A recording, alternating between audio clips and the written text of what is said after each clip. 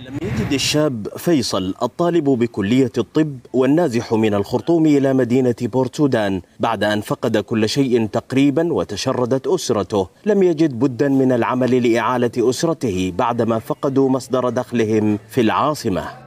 إحنا طلعنا من الخرطوم طبعا بملابسنا بس حقيقة يعني وما إحنا بس ما أنا وربيع بس لا الاستاف حقنا برضه كل زول عنده قصته الخاصه به يعني في اللي انطرد في ال... كل زول بقصته يعني فالناس كلها مرقت بملابسها بس.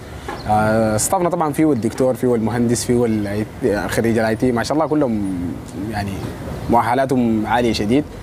فالحرب دي لمتنا كلنا هنا تحت سقف واحد تحت مظلة واحدة وهدفنا كان واحد بس إنه ن- ننجح بالمشروع ده يعني. ويشارك فيصل زملائه وأصدقائه الذين نزحوا أيضا وهم طلاب بجامعات الخرطوم المختلفة في هذا المطعم الصغير حيث يقدمون فتة الفول والعصائر والحلويات بينما ينتظرون إلى أجل غير مسمى توقف الحرب والعودة إلى دراستهم.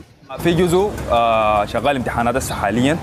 في في في في جامعات يعني مؤجرة لها مراكز بتاعت امتحانات هنا في بورسودان بيقرأ اونلاين في جزء شغال بيقرأ اونلاين في جزء بيفتش على أساس يشوف له جامعة هنا في بورسودان فغايته هو شباب حقيقة كده. في الجزء اتخرج في جزء لسه بيقرأ يعني.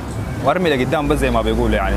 جينا هنا وياهو كنا كان عندنا في البداية عندنا فكره على أساس نسافر ونشيل شهاداتنا دي ونفر يعني. بعد تبدأ لك بداية جديدة ياهو. بس السفر ذاته حصلت فيه شوية عرقلات كده فبقينا قاعدين يعني بعد ذاك اتولدت الفكرة واستقرينا الحمد لله.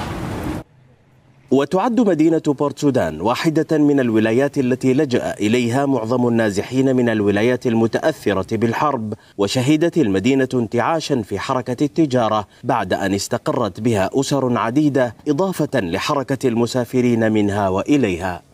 بعد أن فقدوا كل شيء بسبب الحرب في الخرطوم يحاول فيصل وزملاؤه من خلال هذا المطعم الصغير البداية من جديد. علهم يعوضون بعض ما فقدوا. لقناة اليوم محمد العبادي بورت سودان.